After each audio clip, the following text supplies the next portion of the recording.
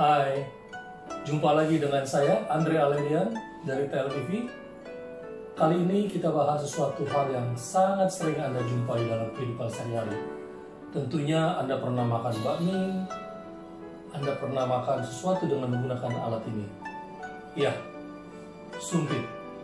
Seberapa jauh Anda kenal sumpit-sumpit yang sering Anda pakai itu? Kita bahas ya. Sumpit dipergunakan pada tahun 5000 sebelum Masehi.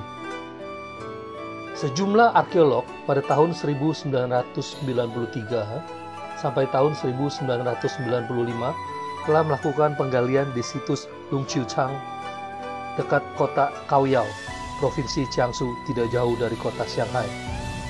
Dan mereka menemukan bahwa supit pertama dibuat dari tulang karena pada masa dulu ukuran supit itu lebih panjang dipergunakan untuk mengambil lauk yang dimasak dalam sebuah wadah yang panas.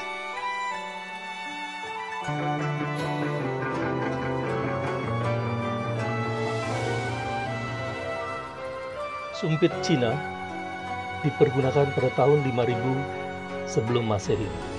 Dalam bahasa Cina, sumpit disebut kuai zi. Kuai artinya cepat, zi artinya bambu. Arti keseluruhan adalah sebilah bambu yang dibentuk menjadi sumpit dalam waktu yang singkat.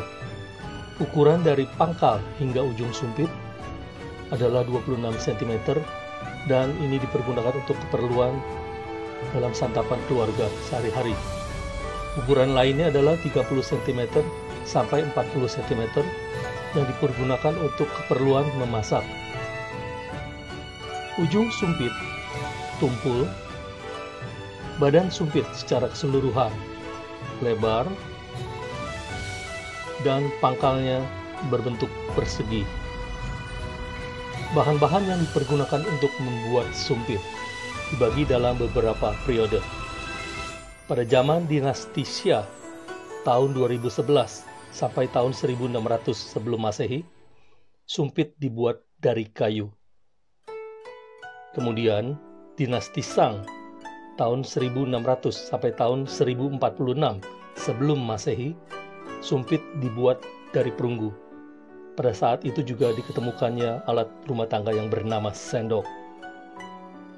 Dan pada periode Raja Chou tahun 1005 sampai 1046 setelah Masehi, bahan sumpit dibuat dari gading.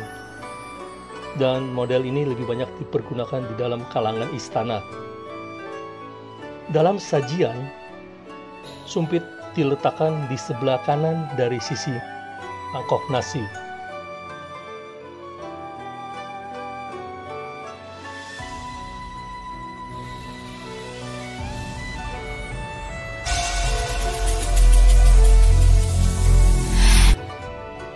Sumpit Jepang dipergunakan tahun 500 setelah Masehi.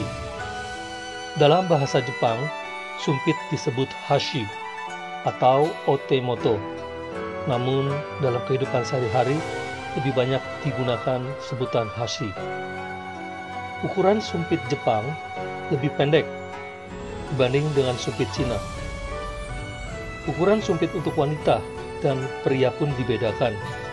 Ukuran sumpit wanita panjang dari pangkal hingga ujung adalah 18 cm, sedangkan sumpit untuk pria panjangnya 20,5 cm. Karena orang Jepang pada saat menyantap hidangan, cawan diletakkan lebih dekat ke mulut, sehingga tidak diperlukan sumpit yang panjang.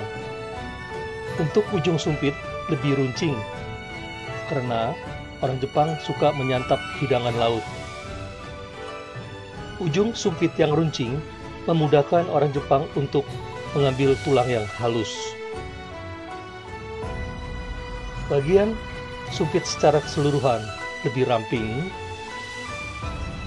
Bentuk pangkal sumpit bulat.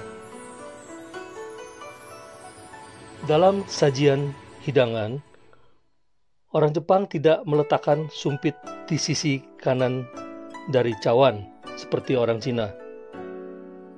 Namun, mereka meletakkan sumpit horizontal atau berada di bawah dari cawan.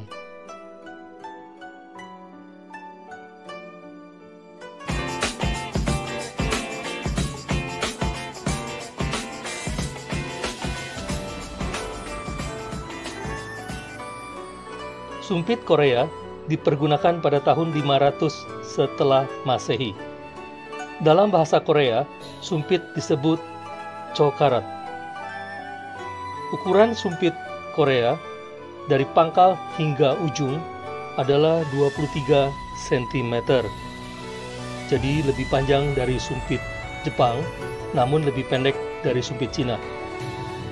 Ujung sumpit berbentuk tumpul, keseluruhan badan sumpit berbentuk persegi, pangkalnya dibuat lebih kasar agar tidak licin saat dipergunakan. Dalam kehidupan sehari-hari, biasanya sumpit selalu disandingkan dengan sendok yang mereka sebut sebagai sujo. Sendok dipergunakan untuk mengambil kuah dan nasi, sedangkan sumpit untuk mengambil hidangan lainnya. Sendok dan sumpit tidak disajikan di sebelah kanan sisi cawan, tidak juga di bawah sisi cawan. Namun, sumpit dan sendok ini disimpan di dalam laci atau di dalam sebuah wadah khusus.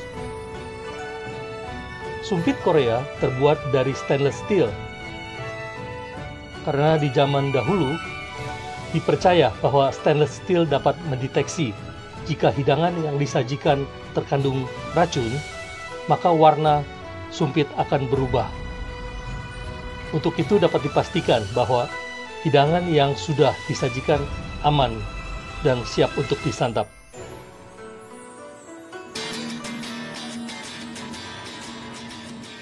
Yuk kita belajar cara penggunaan sumpit yang benar.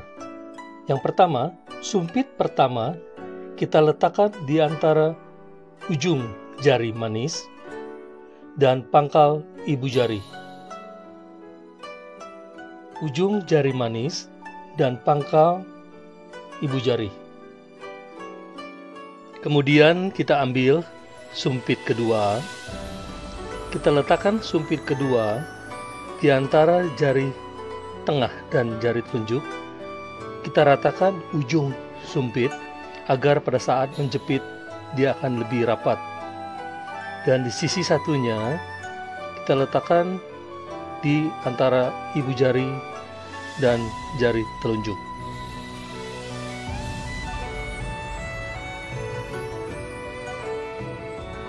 Nah, dengan demikian sudah terbentuk seperti engsel, tinggal digerak-gerakan. Sumpit pertama sama sekali tidak digerakkan. Cukup sumpit yang kedua. Nah, sekarang kita coba ambil kacang ini. Pertama, ratakan kedua ujung sumpit. Kemudian, pergunakan tenaga secukupnya. Jangan terlampau keras, karena kacang akan melejit. Sebentar kita coba lagi.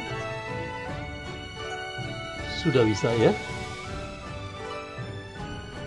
Dalam kehidupan sehari-hari, sering kali kita salah mempergunakan sumpit.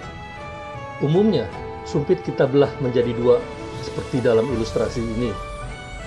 Ini salah. Cara yang benar, perhatikan ilustrasi yang kami berikan berikut. Pada bagian ini sumpit dipatahkan Kemudian bagian kecil diletakkan di meja sebagai alas. Gunanya, jika sumpit yang kita pergunakan akan kita pergunakan kembali kemudian, maka ujung sumpit harus kita letakkan di atas alas tadi agar kebersihannya tetap terjaga dan higienis.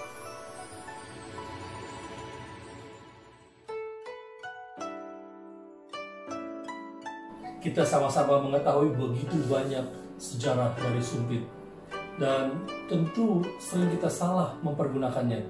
Atau kita tidak mengerti tapi paling tidak sekarang Anda sudah tahu.